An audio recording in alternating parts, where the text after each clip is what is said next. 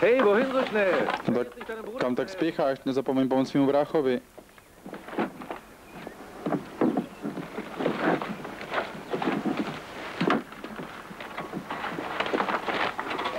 Bob, ich finde meine Schlüssel nicht. Já jsem si zapomněla klíče, počkej, už jdu. Sakra, už mě to nebaví, ten váš, ta vaše hádka. Tak dělej, pospěš si.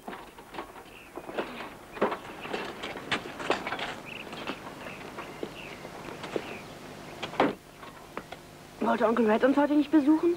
Nenavštívíme dneska. Noch ein Máma a táta vyprávěla, že se nechají rozvést a myslím si, že to je teda výborný strýček, akorát chlastá, nic jiného nedělá. To není pravda.